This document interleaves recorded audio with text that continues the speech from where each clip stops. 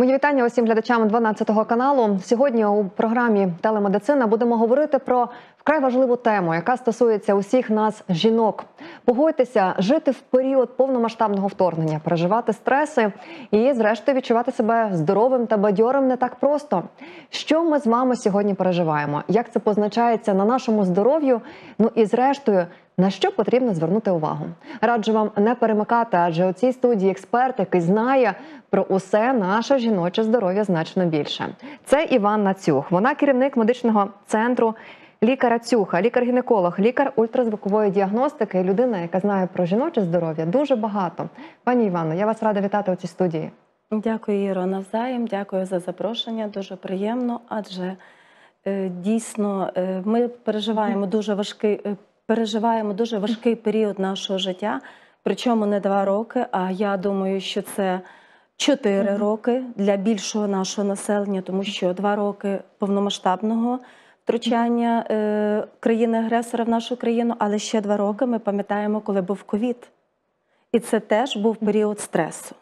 Звісно, що частина нашого населення вона переживає оцей важкий період з 2014 року. Про них не треба забувати. Але якщо це були якісь там невисокі невисокі відсотки населення, то після 2020-го, коли появився ковід, він зачепив значну mm -hmm. кількість людей. А 2022 це фактично він 20, так, 22-й, 22. Е, він перевернув повністю наше mm -hmm. життя з ніг на голову. Ми можемо сказати, е... пані Івано, що ми весь цей час, от саме жінки, живемо в такому стресі який ось пагубно впливає на наше здоров'я. От що цей стрес викликає ці зміни, про які ми будемо говорити далі. Ну, дивіться, е, звісно, але е, взагалі стрес пагубно впливає на все здоров'я, не лише жінок, а жінок, дітей, чоловіків, взагалі всього населення. Просто специфіка жіночої психіки, специфіка жіночого здоров'я вона відрізняється від, скажімо, чоловічого. І е, до прикладу, е, жінки ми здатні ту стресову, будь-яку стресову mm -hmm. ситуацію, чи якусь побутову, чи оцю, яка є масштабно, е, масштабного плану, оцю колективну, mm -hmm. таку колективний цей стрес. Ми здатні як переживати? Ми здатні ту ситуацію проживати по кілька разів. Е, а чоловіки вони більше пережили стрес і пішли рухатися далі. І взагалі, що ж таке стрес? Стрес, якщо брати по наших таких юнісефовських там класифікаціях, це відчуття е, тиску, е, напруження, неможливості справитися з даною проблемою. Так? Але є багато насправді висновків стресу. Мені більше подобається стрес. Е, просто ми будемо говорити про стрес, і я хочу, щоб люди зрозуміли, що це таке. Але мені більше подобається визначення стресу як симптому комплекс е, реакцій е, організму людини на якийсь зовнішній чи внутрішній чинник. Чому? Тому що зі стресом ми зіштовхуємося вже з народження. Коли дитина проходить родові шляхи, це вже стрес, сильний стрес. Коли дитина вчасно не отримала материнське молочко, вона буде так плакати, що ж важко її заспокоїти. Так? Коли дитина набиває якусь гулю чи царапається, здається, чому? За що це маленьке так страждає? Але це робиться і причому регулярно. Для чого це? Це погано, це ж дитині боляче, так? Ну і далі так само. Ми ж можемо, е, ми ж розуміємо, ми ж всі проходили як ми ростемо, ми постійно школу. стресуємо. Просто в нас ті стреси нашаровуються і збільшуються. Якісь відходять, якісь нашаровуються, збільшуються. Чому це? Це є природній процес стрес, до якого людина адаптовується. І от кожен наш стрес він дає певний досвід. Як певний імунітет. Так, як певний імунітет. Він нас навчає. При стресах ми розвиваємося і ментально, і фізично розвиваємося, тому що 10 разів впасти на битигулю, то будемо другий раз обережніші. І Тобто це будь-до чого е, ну, можна застосувати, так? І нема такої людини, яка би щодня не пережила стрес. Але знову ж таки, стреси теж бувають різні. І приємні бувають стреси, тому що коли ми готуємося до побачення, так ми ж теж отримуємо стрес. Але це приємне, який дає хороші наслідки. Навіть коли ми думаємо про це, ми теж отримуємо стрес. Серцебиття, Серцебиття. виділення, все аналогічно. Ознаки стресу усіх є однакові. Гострий стрес, коли щось, от перші емоції, коли ми щось чуємо, це так, прискорене серцебиття, у всіх причому прискорене серцебиття, поверхневе дихання, важко дихати, може бути підвищення потовиділення, може бути пересихання в ротовій порожнині. Тобто це те, що от зразу така реакція під впливом гормону адреналін, який виділяється наднирником. Е, Наднирниками, такими залозами, які є маленькі наднирочками. І, е, значить, це іде така реакція, і вона є нормальна, природня. І коли йде гострий стрес, е, як правило, ми от керуємося цим гормоном наднирником, в нас іде оця така реакція, і цей адреналін викидається в організм, але потім він дуже швидко з нього виводиться. І якщо там стрес розрішається, тобто приємний стрес теж розрішається, це ж в перших кілька хвилин якісь може бути напруження, так? Коли негативний, він так само розрішається, і тоді організм успокоїться. І це є нормальна реакція нашого організму на стресову ситуацію, яка стимулює нас до розвитку, до набування свого власного досвіду. Але сьогодні, напевно, цікавить тема людей е, про інший стан, Це про довготривалий стрес, правда? хронічний стрес, який переходить в дистрес, Мгм. коли люди. Організм людини не може адаптуватися до, до тої чи іншої ситуації. Не може.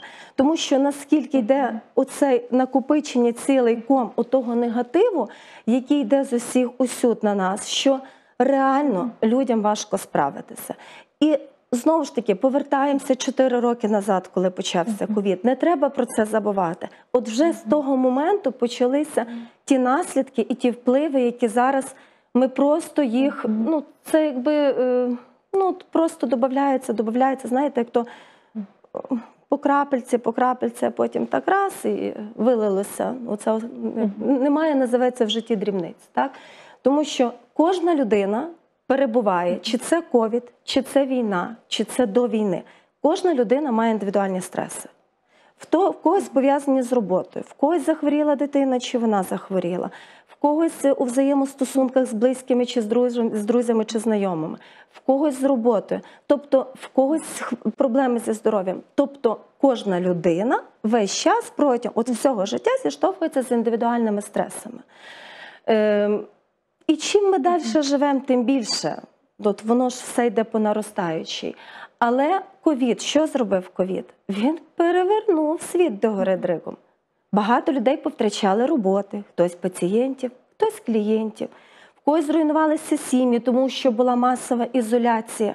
Ми навіть не могли використовувати найкращу терапію обійми, банальне людське спілкування за чашкою кави чи обійми.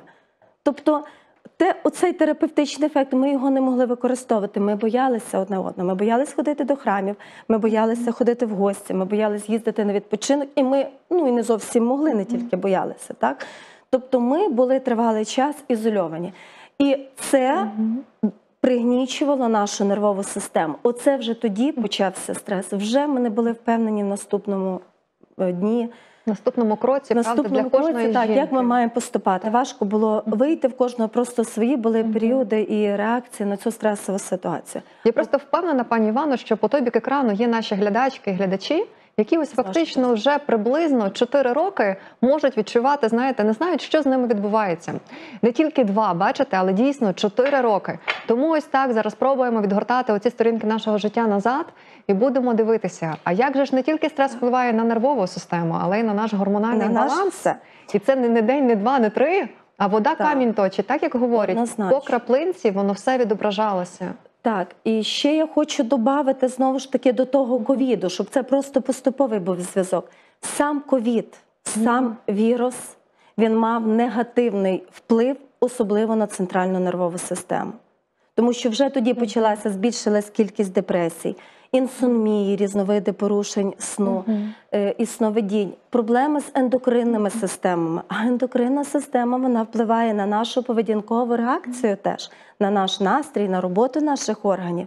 А ми вже бачили вплив того вірусу і у вакцинованих, і не у вакцинованих по-різному. Зараз колись ми будемо знати точно, що могло допомогти, чи що могло не допомогти, чи щось зробили так, чи не так. Зараз рано про це говорити, але ми бачимо наслідки ковіду і в тих людей, які були вакциновані, і в ті, які не вакциновані. І зараз ми бачимо рецидивуючі у ці ковіди, що зараз не, не ну, тобто колись так грипом не хворіли. От я от можна на мене подивитися. Я після думаю рецидивуючого ковіду, коли просто нема сили. Просто нема сили.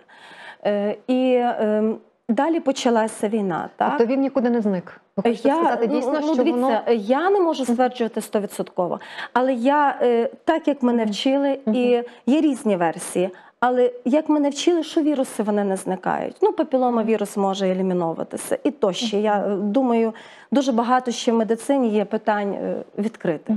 І так само щодо ковіду. Але я знаю точно, що, е, наприклад, мій нюх відновився, але він спотворений. Тобто ті парфуми, які я любила, е, я їх не можу приймати. І деякі парфуми людина приходить до мене і пахне так, що я розумію, що в неї дорогий парфум, але думаю, як мені висидити, висидіти її доприймати і, і як мені вивітрити кабінет. Тобто це не в образу нікому з дівчат, це просто мої проблеми, мої наслідки ковіду. І ось Але я впевнена, роки. що таке є в багатьох, тільки Так, знаєте, так. ми не знаємо, куди з цим бігти. Дуже Так. часто зачитуємося в інтернеті до ночі, шукаючи відповіді на свої запитання. А їх нема. А А, що ти нема. зробиш з нюхом? Все, я так так. вже думаю, що це якщо це 4 роки, то це вже незворотній пішов процес. Десь на підкірці мозку, правильно, Десь- де були можливо десь- пошкоджені десь. певні. Ну, це могли бути і рецептори пошкоджені. В нас не тільки мозку, в нас є рецептори по всьому тілі, по всіх органах чуття. Тобто віруси вони тропні не тільки до мозку, а й до нервової системи, до нервових закінчень, які є у всіх органах і системах. Просто мені здається, що він більше брав е, в, лю- в кожної людини ті ланки, де в них вже була певна поломка, десь якісь генетично детерміновані там були ділянки Або зони. Ну якась так, патологія. де була патологія, Ви чи де сказали була про те, що додалася війна. От І до цього всього. додалася війна, так. Тобто гострий стрес. Е, Це кризова ситуація. Власне, і ковід кризова ситуація мас- масова, і війна це кризова ситуація. Е, Тому що це не один якийсь стрес, це не один якийсь зовнішній фактор чи внутрішній. Це іде багато факторів на організм людини зі всіх усюд. І людина не знає, як справитись. Тому звідти є дивні реакції деяких людей, навіть буквально на будь-яку ситуацію, навіть примітивно просту. Тобто, от в іншій ситуації ця людина би посміхнулася чи поступила би якось по-іншому. А зараз в неї ненормальна реакція. Але е, як я прочитала, і мені дуже подобається, можливо, це я себе іноді е, виправдовую, що е, ненормальна реакція на ненормальну ситуацію, а погодьтеся, це ненормальна Так. загальна ситуація, це є норма. І До, до всіх дівчат і жінок говорю: е, не засуджуйте себе, правда? Так, Зараз будьте з нами в обіймах разом е, по той бік екрану, і знаєте, дійсно, десь давайте спробуємо зрозуміти себе. От просто кожен собі зараз признайтеся, як ми реагуємо в цей період. І ось повертаємось до стресу, до цього хронічного стресу. Що відбувається? Коли з гострим нам все зрозуміло, Так. викид іде адреналіну, прискорюються обмінні процеси, серцебиття, частота серцевих скорочень, і все, все ок. Ми адаптовуємося. Що відбувається з хронічним стресом, особливо з негативним, який пов'язаним з страхом? Тому що негативний стрес, як правило, пов'язаний з страхом. Постійно, отут Так, так, зі страхом, ну е, зі страхом, так, з напруженням Так, внутрішнім, так, зі страхом е, за життя рідних, зі страхом за життя близьких, за своє життя, за, За територію за нашу, територію нашу, за життя. Та то мови нема. Все разом. Тобто це іде постійна напруга. Е, гормоном. Е, Гормоном страху вважають, ну це так не зовсім правильно, але за страх відповідає е, в найбільшій мірі це гормон кортизол, теж наднервниковий гормон. В нормі цей кортизол він теж потрібний, тому що він, коли він зразу виділяється, теж якби він диктує нашу поведінкову реакцію. Що нам робити? Втікати там, чи бити, чи це більше чоловіків, до речі, характерно, чи замерти. Ну тобто він диктує нашу поведінку в, в тій чи іншій ситуації, в залежності від того чи іншого стресу. І коли він виділяється. Якби в певній необхідній кількості періодично, це є норма. І е, він проявляється у тому підвищенні, і коли зранку він з'являється, в нас. е, Коли в невеликій кількості в нас теж посилюється трошки прилив іде енергії, і ми можемо щось робити. Ввечері в спокої він, як правило, має нормалізовуватися. Але А хронічно? який, але який е, вплив, коли хронічно? Зараз що відбувається? Він у нас і вночі не успокоїться, і ввечері, і зранку. Чому? Тому що стрес це не лише зовнішній чинник на нас. А зовнішніх чинників достатньо. Кажу, крім особистих новини, з чого ми починаємо зранку день? Що прилетіло, куди? З туалету і Скільки? чи Так, так. телеграм. Так, канал і всі новини, так і вже ми собі заряджаємося. Бо е, оце була на конференції і говорив е, наш е, такий чабан, є Олег Сузонтович, головний психіатр він України, наче професор. І він розказував, що е, от це вже доведено, що людина, яка зранку починає день з негативу, то вже протягом дня автоматично їй буде підкидуватися ця інформація, в неї буде сприймати. І е, Вплоть до того, що вона буде сприймати якусь взагалі інформацію негативну, яка її не стосується, але вона її буде сприймати як свою особисту. Ну тобто до себе Все, вона переключилася фактично на той інформаційний потік, Так. саме тієї інформації, Так. яку вона притягує до себе. А ми І- все тягнемо те, що ми собі І що придумали. відбувається? Ну вже зовнішньо, ніби це нас не стосується, так Але ми його тягнемо далі. Але внутрішнє, ми ж його переосмислюємо. Особливо подивіться, які новини читають найчастіше. Коли от саме жорстка іде назва, от буде найбільше переглядів. Так. Ну от чомусь це так є. Так, от людям недостатньо стресу, їм треба ще Не додати. в образу усім журналістам. Усі люблять назвати максимально кричущий заголовок, аби викликати Так. реакцію глядача. Так, Плюс. ну але тому, угу. що є на це попит. Так, попит, попит. Є пропозиція. Так, якби не було, то того б не було. Мгм. Тому він навіть сказав одну Мгм. таку рекомендацію. Е, смішна, до речі, от тебе теж треба спробувати, бо казав, що ніби така вона е, дурацька, але вона е, така трохи, е, але вона теж піднімає настрій. От каже, написати там на дзеркалі помадою жінка року. І коли ти в зеркало Мгм. встаєш зранку втомлено, і так і дивишся на оце жінка року і на свій вигляд. І зразу Хочеться стає усміх- весело. Так, Хочеться усміхнутися. Уявляєте собі одразу така фоторамка у ванні, правильно? так. І ви собі, навіть я одразу уявила, і хочеться Хочеться губ підняти, так. а не відкрити одразу, глянути і думаєш, ну все знову почався той самий ранок е, сурка, в якому ми вже стільки часу живемо. Так. Ми дивимося на негативні новини. Я повернуся до вашого твердження. Навіть ці негативні новини, якими ми заряджаємося, вони тримають рівень кортизолу. Ось цей постійно. Так, постійний, це йде постійний рівень кортизолу. Тому що ж я ж кажу, що стрес це не лише зовнішній фактор, це внутрішній. Тому Мгм. як ми його можемо гасити? Я потім теж скажу. А що робити? Я одразу. Ну давайте по кортизолу пройдемося. Бо я от всіх е, що, застерігаю, е, я не бігти в лабораторію здавати. Ні, ні. Дивіться, е, що таке, е, от конкретно ми говоримо про гормон кортизол. Так, от загальні речі, які людині потрібно знати. Що робиться? Тобто, щоб його постійно викликати, ми повинні мати певний подразник. Певний подразник це зовні інформація, яка попадає до нас, яка вже й не гострий стрес. Ми ж звикли до тих новин. Ось е, Трамп може зробити те-то, те-то, а Путін те-то, те-то. Ну, ми звикли до цих новин, але ми на них реагуємо так само, як на сирену. Просто слава Богу, до нас не так прилітає, як там в Києві чи в Львові. Так Чи Харків. чи ну це, взагалі, це просто. взагалі. Але ми вже до того звикаємо, але все одно це виникає певний дискомфорт і певний якийсь стрес. Тому е, це зовнішні фактори і внутрішні те, про що ми думаємо. Тобто, як про особливо це стосується жінок, тому що, от е, ще раз нагадую, жінки вони здатні е, ту ж саму ситуацію переживати по 100, по тисячу раз. Обдумувати, якби я то зробила, чи сказала, аби так було, чи не так. Тому оці з цими речами, з цими внутрішні, внутрішніми діалогами треба бути дуже обережно. Е, що робить тоді е, кортизол? Значить, ми викликаємо його хронічним стресом. Так? Коли він хронічно виділяється, іде виснаження яйників.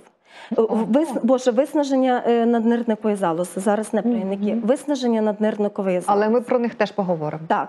Поки Е, наднирники. так, Мгм. іноді навіть буває е, стимуляція до е, пухлин наднирників. І е, за останніх три роки я знаю серед моїх знайомих і пацієнтів вже в чотирьох пухлини наднирників. Ну тобто до тих пір я ну, читала, що таке є. Рідше був такий фактор. Рідше так. Від того, що він постійно стимулює саме ось ці Постійно залози. стимуляція. Так, і від того так. вони виснажуються, викликають ці патогенні переважно, зміни. переважно вони виснажуються. Так. Боже, І- дівчата і хлопці, і всі по тобі екрану. Ну треба бути спокійними. Уявіть. Максимально треба бути спокійними. Це вже реально. перший висновок, який хочеться Е, Це- зробити з вами так, разом. Це важко, але це потрібно. І до речі, стосовно такий, е, ну не знаю, лайфхак. Ну я собі завантажила. От в Телеграм в мене є три канали. е, Ну, таких от дурощів, наприклад, там як наречені, десь там, знаєте, там фата смикнули, впала, там чи е, котики з собачками, якісь десь там ну, жарти всякі.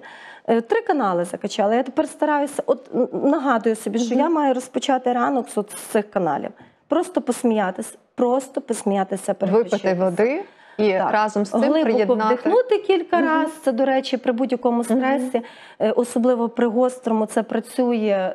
угу. Але треба людям нагадувати, тому що людина, яка перебуває в стресі, гострому чи хронічному, вона е, не завжди адекватно знає, як їй поступати, що робити. Тому нагадувати дійсно приземлитися, відчути місце Опору. опору, угу. так.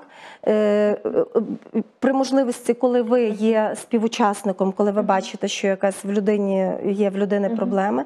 Знайдіть безпечне місце, де їй дати Мгм. опору, щоб вона могла відчути. Можете попросити її вас обійняти, чи запитати дозволу, чи ви її можете обійняти, щоб вона відчула тактильні відчуття безпеки і глибокі вдохи, просто заставити. Тому що коли йде гострий стрес, іде поверхневе, поверхневе дихання, то щоб були глибокі вдохи, видохи. Ну не переборщити з цим, тому що коли забагато глибоких вдохів і видохів, Може ми можемо досягнути запаморочення. запаморочення. Так, то ну тут буквально кілька, так. Я одразу запитаю, е, все ж таки нас слухають і мами, і жінки, які мають дітей. На дітей це діє?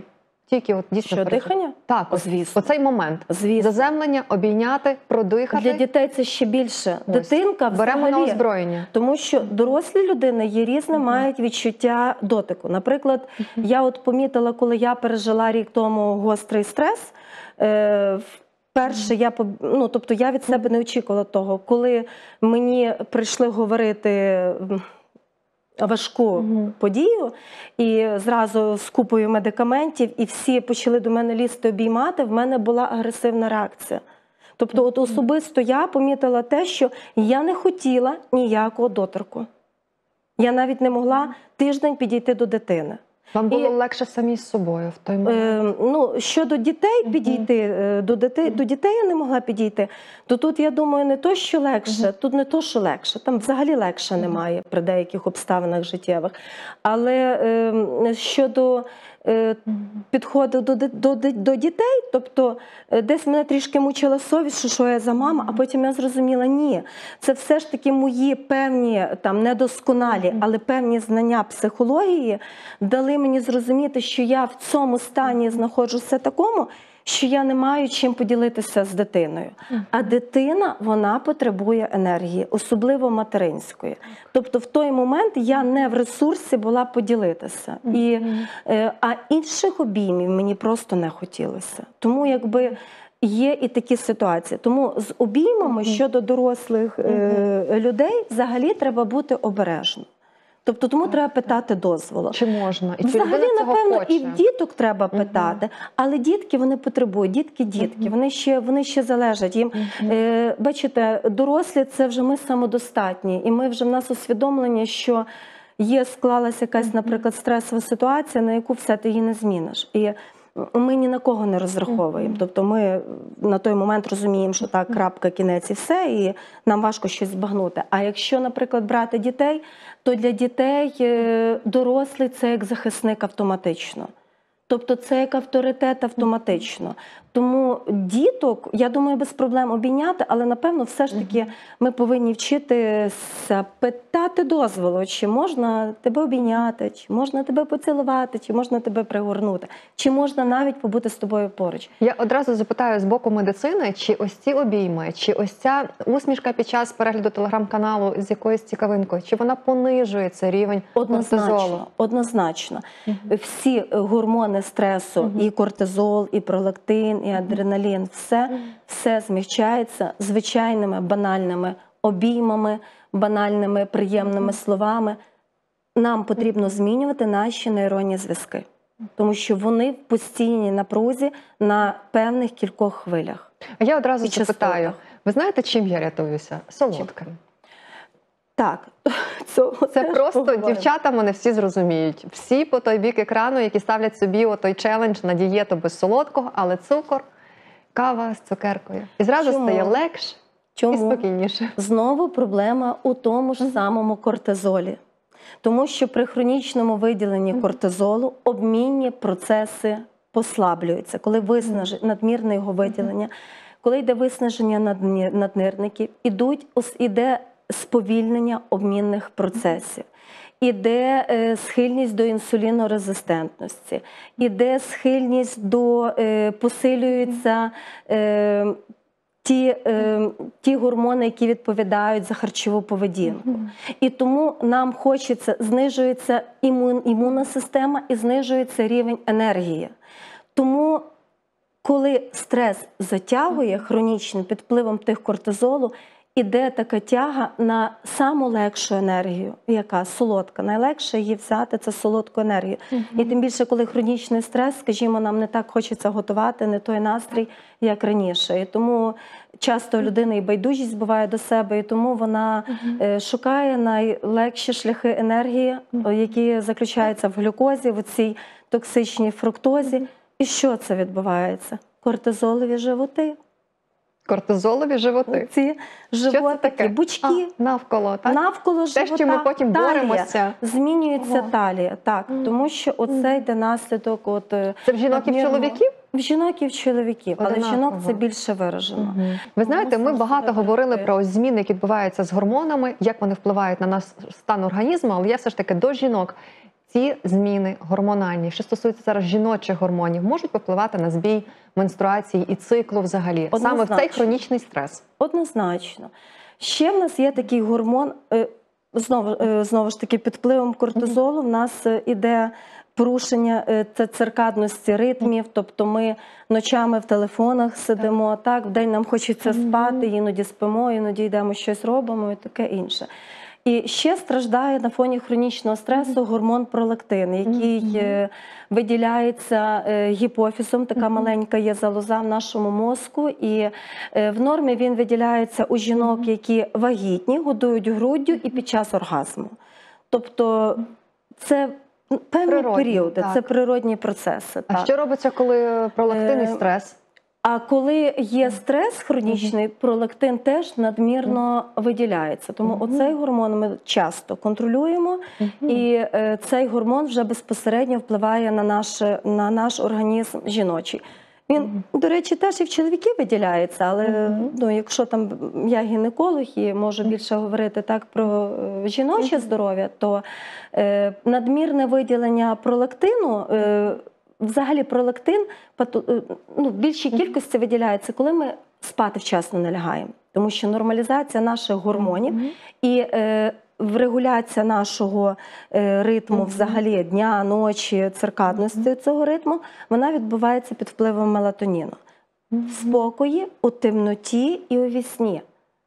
Орієнтовно, ну там різні автори по-різному кажуть, орієнтовно з 10 вечора до 3 ночі. Тобто з 10 до 3 ночі нам варто спати. І перед тим не мати оцо- з світлом. вимкненим світлом, щоб Так. не мати цього денного Мгм. цього світла. З закритими шторами. З закритими шторами бажано так. І Мгм. може бути музика, в принципі, про е, Мгм. супровід музичний таке. Мгм. Ну, типу, я не чула, що це погано впливає. А от світло, телефони, телевізори, воно е, так, воно негативно впливає на наш організм, на наш сон. Мгм. І е, враховуючи те, що е, після ковіду інсомнії, тобто порушення зі сном, вже давно, бо е, це масово люди страждають порушеннями сну. І це пов'язано з ковідом. Якщо колись це ми чули якісь епізоди, то коли почався ковід, то це е, на рівень якоїсь такої масовості вийшло. І е, виходить, що що? Ми вночі не лягаємо вчасно спати, в нас іде гормональний дисбаланс. Е, кортизол наш теж не успокоїться, бо ж ми змушимо мусимо його напрягти. І так само надмірне виділення йде пролактину. Так? І коли оце йде надмірне виділення пролактину, е, зразу йдуть зміни, порушення ну, в, більшості, в більшій кількості щитовидною нашою залозою. Ми і так схильні, ми ендемічна зона, плюс ми не знаємо, що там в Чорнобилі насправді робиться після тих дій, які відбувалися, і ми не знаємо оці ракети, які міняють повністю нам погоду, так? І ну. Так. ті ж самі ми не знаємо, які воно впливи має на наші токсичні впливи на наш організм. Тому що те, де бойові дії, то там зрозуміло, що це, це жахливі речі робляться. Але навіть в нас відносно безпечних містах. Це теж є свої наслідки. І ми бачимо порушення щитовидної залози. Звісно, цим займаються, коли є такі порушення явні ендокринологи. Але ми, гінекологи, часто ми, гінекологи, ці порушення щитовидної залози виявляємо, діагностовуємо.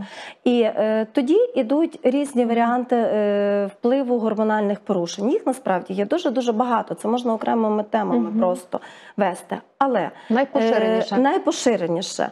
Е, в одних кардинально от, м, Мгм. різні. В одних ідуть аномальні маткові кровотечі, в інших аменореї, тобто відсутності затримки менструації. І відсутності. Е, що краще, невідомо. Зараз я просто в двох Мгм, словах, бо я так мгм. розумію, що у нас обмеження по часу. В двох Так. словах просто е, розповім, е, які ну, негатив зміни має і і там. там зміни. Мгм. Так. Ну, е, коли, е, коли йде гострий стрес, то, як правило, в більшості людей е, ідуть аномальні маткові кровотечі. Навіть в тих ситуаціях, коли би це не повинно було йти, тому що, наприклад, е, люди приймають протизаплідні препарати, але багато хто, до речі, не з метою протизаплідності, а з регуляцією циклу, де йде, коли йде зовні на наш організм вплив певних гормонів, естрогенів, гестогенів, синтетичних, але в невеликих кількостях наші яйники на той час вони відпочивають. Тобто, відповідно, відпочиває матка, ендометрій і таке інше. То навіть на оцих коках, на оцих медикаментах ми бачимо аномальні маткові кровотечі. І якщо це гострий стрес, і якщо це так відбулося, е, і воно перейшло. Тобто, якщо це е, не заливає, що людина встати не може, ну тобто до туалету добігти, е, чуть не мліє. Якщо це не затягується більше семи днів, то цей час можна Ну, постаратися заспокоїтись, можна якийсь вітамін С поприймати. Ну, це таке, що банальне, бо кровоспинні самі не варто людям собі призначати. Але е, от попробувати поспостерігати. І якщо це мене, як правило, Мгм. Е, в більшості випадків це ось пішло. День, два, там кілька днів, і воно перейшло. І якщо оці збої далі не повторяються, стрес наш реалізувався, і е, воно не повторяється. Ну то тоді, але а людина перед тим, от півроку перед тим була в гінеколога. Вона знає, що в неї все добре е, Мгм. в плані гінекології. Ну то тоді не обов'язково йти до гінеколога. Якщо це йде надмірна кровотеча, чи бачите більше Мгм. семи днів, е, зразу зверніться до гінеколога. Не біжіть ніколи в- в лабораторію здавати зразу якісь аналізи, тому що потім люди приходять з цими пачками, купа викинутих грошей, а половину тих аналізів фактично не потрібно. Якщо зникають місячні. Таке буває. І, до речі, е, як правило, в кого до того схильність, в кого до того хочу уточнити.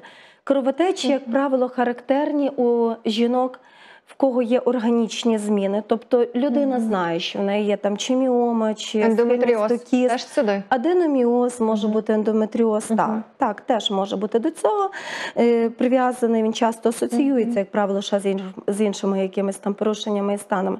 Але коли жінка е, більш в надлишковій вазі, і коли в неї схильність є до затяжних місячних, до болючих, в них більше це схильність до кровотеч. Е, е, Стосовно аменореї, це більше. Е, Підпадає до тої категорії, от, наприклад, коли жінка в преклімаксі, то стрес може раз і от припинилися місячні, зайшла менопауза. Але ми це бачимо е, зараз в молодих дівчат. Як правило, Який е, вік вас налякав, коли таке з'явилося? ви знаєте, З що вашої взагалі медичної практики? е, це є зараз і після 20 років. Зараз це зустрічається після 20 років. Це називається передчасне виснаження яйників. Цей стан називається. Чи може бути він е, одразу запитаю, викликаний оцим хронічним стресом? Якщо є такі пацієнтки, Так, які нас чують, Так, але дивіться, е, ну стрес стресом, але ми ну не все можна підв'язувати під стрес, тому що е, ну не можна сказати, людина раз померла в неї фактори. рак, бо в неї стрес. Мгм. Ні, до того якогось. До якоїсь отого небезпечного стану, інфаркту, інсульту, раку, там ранньої менопаузи чи ще щось, щось вело. передують купа факторів, починаючи від того генетично, як, е, які гени е, ідуть по мамі, бабусі, там прабабусі і таке інше. Так? Другий момент епігенетика, тому що наші гени мутують під впливом зовнішніх факторів. Коли я в інституті вчила 20 років тому, що міоми, доброякісні пухлини, знаєте, що це Так, таке, так. так. вони з'являються в жінок після 40 років, коли лабільний там гормональний фон. То зараз ми це бачимо після 30 вже бачимо. А ми ще бачимо це до 20. І ще в мене навіть кілька клієнток, які статевим життям не жили. Ми це як знаходка по УЗД, дівчатка Вірго, а ми це до 20 років знаходимо, відправляємо до дитячих гінекологів. Тобто і такі речі є. Якщо в цій бабусі, яка жила, харчувалася нормальною, нормальною їжею, вже вона стресостійка, бо ж бабусі теж наші діти війни, так, але вже якось там все устаканилося. Вона е, фізично працювала, а фізична праця, до речі, люди дуже дуже ефективно по- по подоланні стресу. О, бачите, Тому що один коли так, момент. так, коли ми е, щось садимо, городи Прибираємо. чи прибираємо, Дома. ми думаємо, як то маємо зробити. Вже ми тоді не подумаємо собі, як за чашкою кави, чи коли їмо.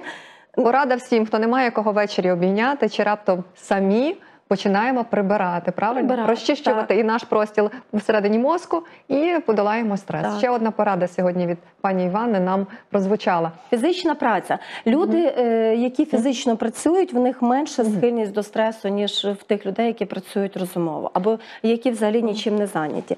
І, е, значить, е, То я повернуся, клімакс дуже помолодшав. Те, що і сьогодні говорять. А, е, дивіться, ще просто я хочу довести, щоб не було незавершених тем. Тобто е, епігенетичний фактор, а далі харчування наше. Це ж зовсім інше. Е, шкідливі звички, які раніше це було якось десь соромно, незручно, а зараз це вже нема соромно і незручно. Плюс екологія. І ось тоді отой стрес, який йде оцею останньою краплею, якої останньої краплі не буває. Це, як то кажуть, повний На анамнез е, Це повний анамнез. І так само це стосується клімаксу ранішнього. Чому? Е, В кого він частіше буває? Як правило, він буває у тих жінок, е, які оце причасне виснаження яйників. Тобто всіх, всіх нас так хронічний стрес, так? Е, Всіх нас майже всіх підвищений рівень пролактину, рівень кортизолу, з цим ми все вияснили. Так? Але є жінки, які е, не доїдають. Тобто, от в них вони до того не доїдали, тому що там боялись за талію, за фігуру тощо, які надмірно працюють в спортзалах, Ого. які забагато палять. Тобто, Ого. оці процеси у цих жінок, як правило, йде раніше клімакс.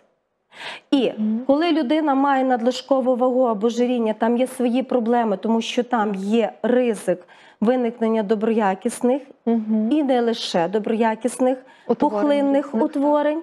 Так, то та е, жінка, яка є, чи дівчина, яка е, має астенічну більше будову, в неї схильність до виснаження передчасної яйників, які іноді можна відновити, а іноді просто перевести на замісну гормональну терапію. Чому? Мгм. Тому що е, коли йде перед- передчасне виснаження яйників, тоді падають наші е, і е, яйникові гормони, і естрогени, і, ес- і гестогени. І що відбувається? Старіння перечасне. Ви знаєте, от ми багато чого говорили, і зараз така буде практична хвилинка.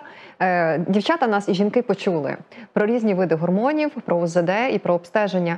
Той, хто сьогодні не знає, що робити, йому найперше йти на УЗД в лабораторію чи записатися до лікаря, звернутися до, до гінеколога і спробувати йому розказати свої проблеми, що в нього можливо, чи Ну, затяжні місячні, так. чи вони зникли, чи можливо біль в грудях може виникнути, чи тягучі болі внизу живота. Ну всяке може бути. Так. Яка тут Е, процедура? Часто, до речі, часто так е, е, буває, що от під впливом до підвищення рівня пролактину одна з таких перших ознак його підвищення це мастоденія, коли йдуть нагрубання і болючість, чутливість молочних залоз. Іноді це буває перед, е, перед період передменструального, передменструальному, але часто це буває і, е, і незалежно від того, тому що я ще раз повторюю, що більшості жінок є постійне підвищення рівня пролактину. Е, Тому, коли є така проблема, краще звернутися до гінеколога. Е, Якщо гінеколог е, на своєму місці, як це кажуть, він, звісно, що він збере гарно анамнез, він пропальпує ці молочні залози, оцінить стан щитовидної залози. Крім звичайних там взяти мазки, бімануального обстеження, ще щось. Дуже важливо зібрати анамнез. Дуже важливо вияснити, як вона спить. Дуже важливо вияснити, коли е, чи вона в стресі, чи вона не в стресі, тому що не всі в стресі. Вон, цікава статистика з Києва привезла 90% е, українського населення. Мало хоча б е, за цей період, хоча б е, один прояв депресії. Але е, 10 є відсотків людей, які себе у цей період минулого року, по-моєму, в квітні 23-му році робили дослідження, відчувають себе прекрасно, щасливо, ліпше не відчували ніколи в житті. Тобто таких 10% є. Є. цей Є, і ми з цими зустрічаємося. І приходять Мгм. до мене пацієнтки, які Мгм. дивляться в очі, мені посміхаються і говорять, в мене молочниця, бо ж ми з чоловіком їздили на море, а потім ми ж з чоловіком Мгм. їздили туди, і ми їздили сюди, і тут ось мене турбує молочниця, все, що мені псує якесь життя. Тобто є і така категорія пацієнтів. І ну, це є, це, це таке є. Ну, можемо потішитись е, за тих людей, кому зараз добре. Так? І, бо це ж теж наші українці. Але ви збираєте ось цей анамнез по крупинці, і, мабуть, ще й Збирати генетичний, І який генетично ми обов'язково. обов'язково ми запитуємо. раптом там у мами чи бабусі була якась онкопатологія. Генетичний, анамнез, що принесли, супутній анамнез, тому що людина е, це цілий організм. Гінекологія це не лише матка, яйника і піхва, це є цілий організм. Який пов'язаний із тою ж функцією щитовидної залози, Мгм. із е, рівнем цукру і інсуліну в організмі. Ну тобто, це, це складний іде механізм.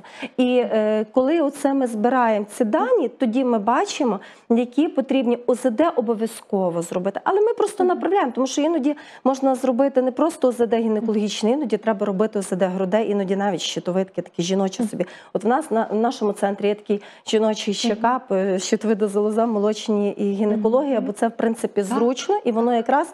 Найбільше пере, е, ну, якби пересікається між собою. Якщо, наприклад, навіть той же самий полікістоз яників, він може бути з вузлом щитовидки пов'язаний десь Ну, напряму. воно все так, воно є в є різноманітні комбінації. Одразу перепитаю, Е. чи самотужки можна йти на такий е, от Можна. чек-лист? Можна. Прийшов і Ну, заспокоївся. дивіться, е, е, щодо заспокоївся. Дивіться, е, на такий е, чекап можна йти, тому що УЗД воно не шкідливе, воно не болюче, воно не є наскільки дороговартісне, як якесь там МРТ, там Мгм, так, якісь так. такі там більш е, глибші методи діагностики. Е, Це можна зробити. Але знову ж таки, от ви кажете, заспокоїтися. Ну що заспокоїтися? І куди заспокоїтися? Тобто два роки не в мене є такі пацієнти. Два-чотири роки не була на огляді в гінеколога, прийшла в мене все нормально, по ОЗД так. То вже до гінеколога не йти. Та ні, йти, тому що ми на ОЗД не оцінимо стан епітелію шийки матки, тому що ми на ОЗД не побачимо якісь там передракові чи фонові процеси. Так, Теж ну, то ерозія це ще саме простіше. Мгм. Є ж е, глибші процеси. Ми ж не візьмемо мозки, можуть люди мати якусь хронічну інфекцію. Тому е, Раз в рік обов'язково мусимо пройти. Обов'язково. Взагалі профілактичний огляд рекомендується раз в рік. І по ситуації, по потребі. Одразу запитаю, тих, хто вирішив собі навіть зробити цей такий чек-лист і пройти обстеження, чи потрібно дотримуватися певного дня циклу? Ну, Винайти- взагалі рекомендується, типу, якби з 5 по 15 день циклу, але я вам скажу, що це не має такої принциповості. Ось, наприклад, от в нас кажуть робити ОЗД грудей е, в першу фазу циклу, так? Але хто робить е, ОЗД чи мамографію в першу фазу циклу за кордоном? Та там нема такого. Там запис іде на 5 місяців наперед. Ми що, вичислимо туди е, до за 5 місяців, яка у нас буде менструація, чи яка буде фаза циклу, ми цього не вичислимо. І якщо є якісь зміни, утворення, ми їх побачимо так чи інакше. Якщо є якась ситуація, там, наприклад, прийшла в от часто гіперплазія ендометрію, ми їх не побачимо після місячних, бо ендометрій може бути в межах норми. Ну, чуть може збільшений, але ми це побачимо краще перед місячними. Тому що ми знаємо, що той ендометрій має бути не більше 14 мм, і як він має виглядати по ультразвукових критеріях. А він в неї 22, наприклад, чи 20. Ви знаєте, Тобто час, тут час... дуже є все е, специфічно. Іноді нам просто приходиться, коли ми щось виявляємо, робити ОСД-контроль просто в іншу фазу циклу. І так само щодо аналізів. При полікістозах це одні аналізи, при е, міомах це інші аналізи, при менореях це одні аналізи. При е, аномальних маткових кровотечах інші аналізи. До 35 років це один чекап. Профілактичних аналізів після 35, інший 50 це ще У нас сьогодні бізнес лабораторій, це правда. Вони сьогодні на кожному кроці, як відправка пошти. Е, Самому не варто е, іти собі брати якісь пакети. Оце 100%. Ну е, не варто чому? Не варто, тому що це викид коштів. Ну дуже Так. часто приходять е, з лишніми просто аналізами не потрібно. Або, наприклад, приходять в жінки, нема проблем е, з гормональним циклом. Вона приходить е, з пакетом е, гормонів. Питається: ну для чого тобі ці гормони здавати? Це ж достатньо дорогий аналіз. А вам не відповідають Ось в інтернеті? Прочитали. Відповідають.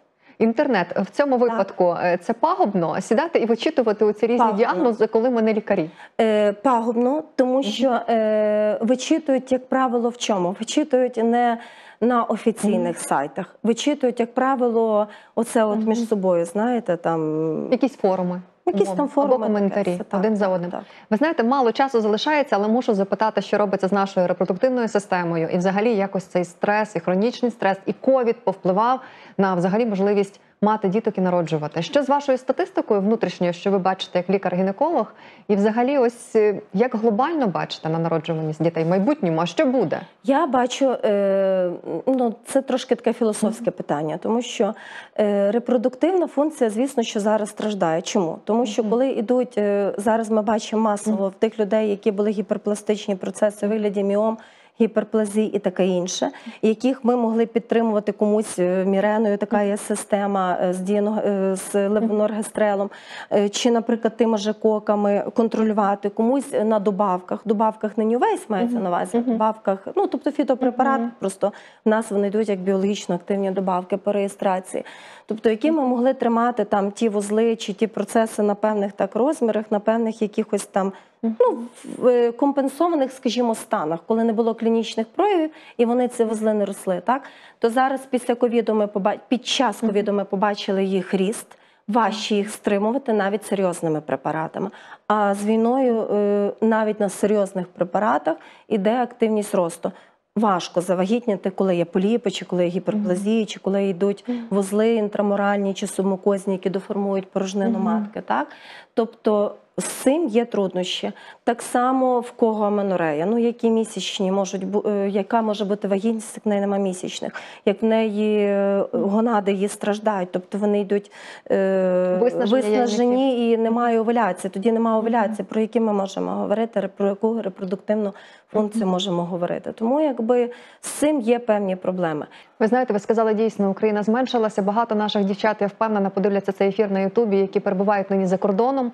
Можливо, не мають можливості отримати фахової такої, знаєте, допомоги і підтримки з боку лікарів-гінекологів, які там, адже і мова, і бар'єри, і все решта. Бувають у вас такі, що приїжджають зараз, от спеціально Буває записуються. Два роки не були, і от Так, при- дуже потрібно це. От зараз навіть до них е, звертаюся. Потрібно і дуже це важливо, тому що е, комусь здається, можливо, що хтось там їм легше. Ні, як сказав мій е, один друг, кум, який ну прийшлося виїхати, і він сказав: знаєш, каже, можна виїхати з України, але Україна з тебе не вийде. О. І насправді е, я розумію цих людей, тому що не солодко ніде, і ніде ми не потрібні, як вдома. Тобто вдома ми потрібні, тому що вдома в нас все одно більш-менш схожа ментальність. В нас є якісь друзі, сім'я, родина. Ну, вибачте, Америка це зовсім інша ментальність. Канада ще інша, Польща це інша. Ми ж бачимо це. Так, тобто, якщо взяти насправді нам допомагають ті люди, які усвідомлені і розуміють, яка може бути небезпека, якщо нам не допомагати. Ну це не означає, що вони нам це роблять від великої любові чи великого розуміння і підтримки. Тому нашим людям в більшості випадків я думаю, що нелегко, тому що це теж додатковий стрес.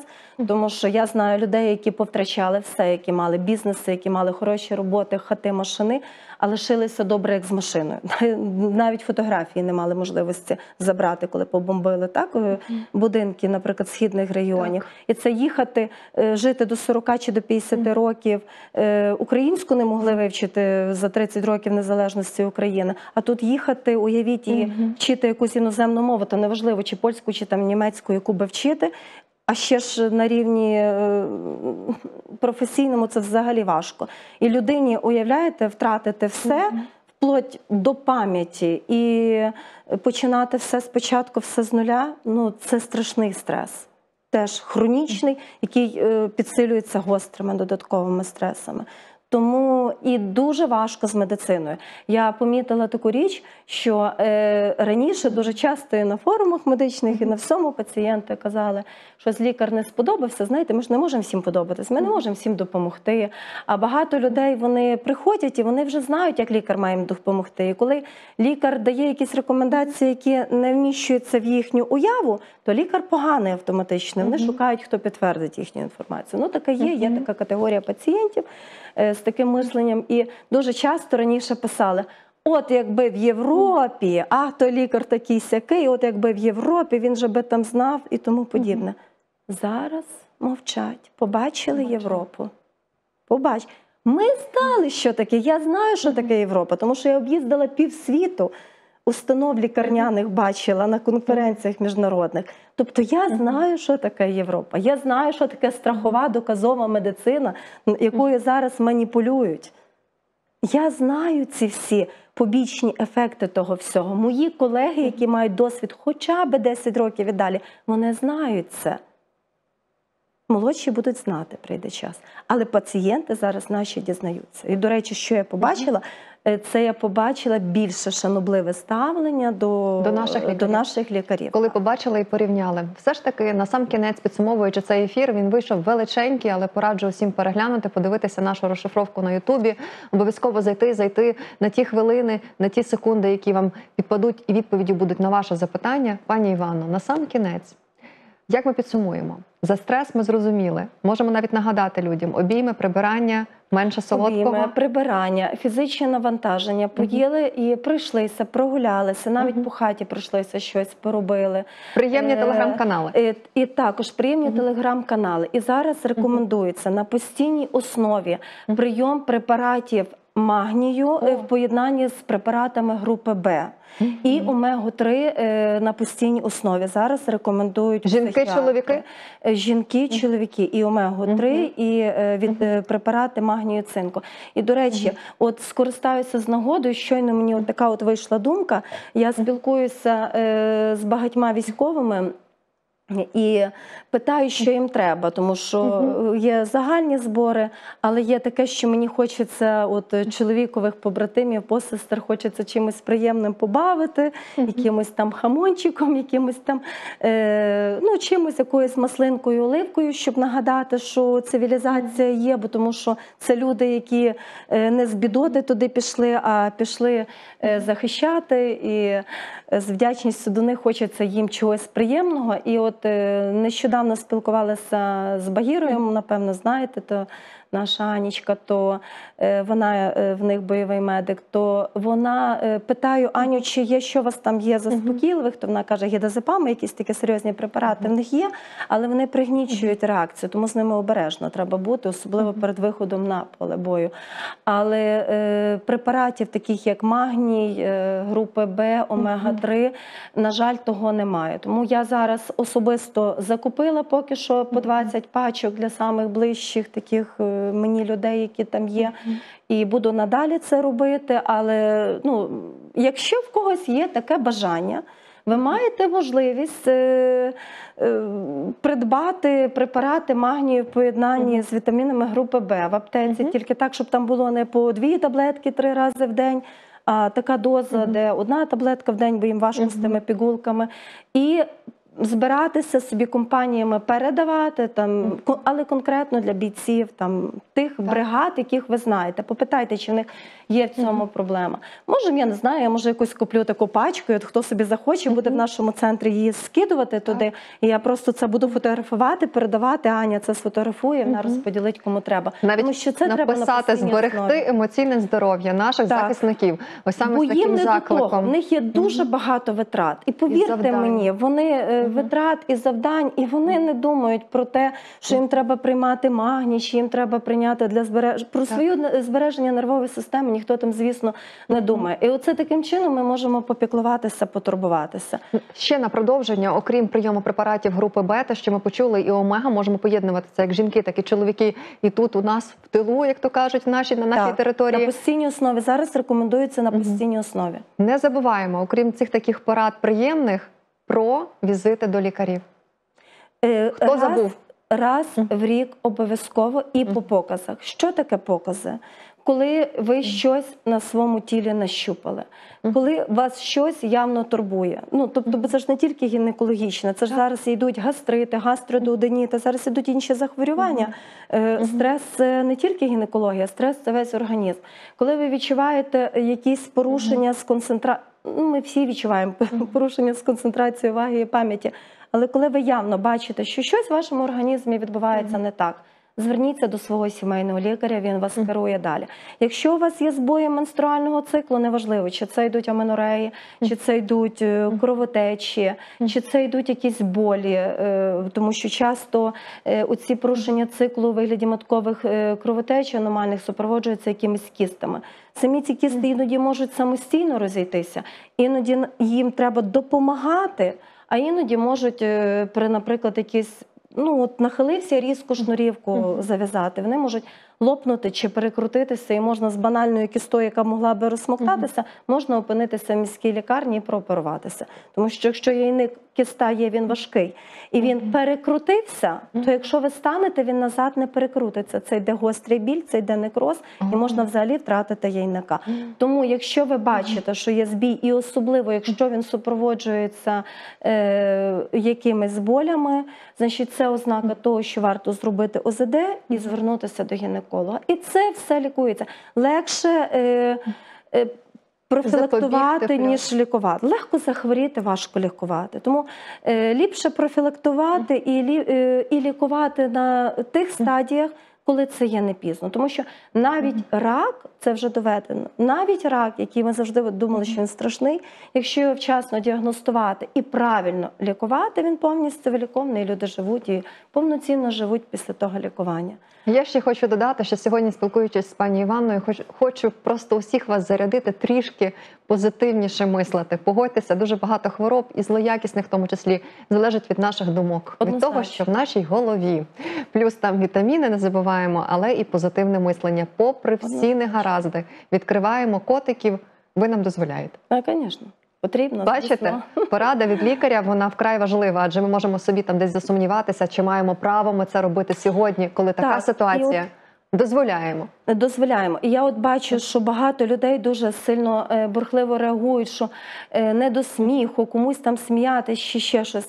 Будь ласка, смійтеся на здоров'я, дивіться веселі фільми, дивіться радісні фільми, тому що нам треба сміятись. Є сміхотерапія. І навіть те, що казав, е, рекомендував Олег Сузонтович, каже е, за кордоном, е, чому так посміхається? В них ж теж є проблеми і конфлікти. Це ще коли було до військового часу. Тому що навіть коли ми спочатку наша усмішка виходить з таким оскалом. Але коли ми собі це нагадуємо, і коли ми посміхаємося, людина бачить, що хтось і посміхається, вона автоматично собі посміхається. Дякую сьогодні вам за цю відвертість, щирість, за наповненість і за ту інформативність, з якою я впевнена, знаєте, бодай одному. Десятьом сьогодні допомогли цим ефіром. Це вже нам плюс до карми, як я кажу. Ну і плюс до нашого щасливого майбутнього впер- вперед. Я вам дуже дякую. Нагадаю, що сьогодні гостем нашого ефіру в рамках програми Телемедицина була Іванна Цюх. Вона директор медичного центру е, лікаря Цюха, також лікар-гінеколог, а також лікар ультразвукової діагностики. Е, Передивіться цей ефір обов'язково з пані Іванною. І ще, якщо можна, одну ремарочку. Е, Для багатьох сьогодні мої червоні губи. Я обіцяла сьогодні червоні губи. О, знають, Тому кому що обіцяли. це теж е, Мгм. кільком людям обіцяла червоні губи. Супер. Деякі мене Мгм. надихнули, деякі мені просто нагадали, що мій чоловік любив мене по всякому, Мгм. але з червоними губами особливо.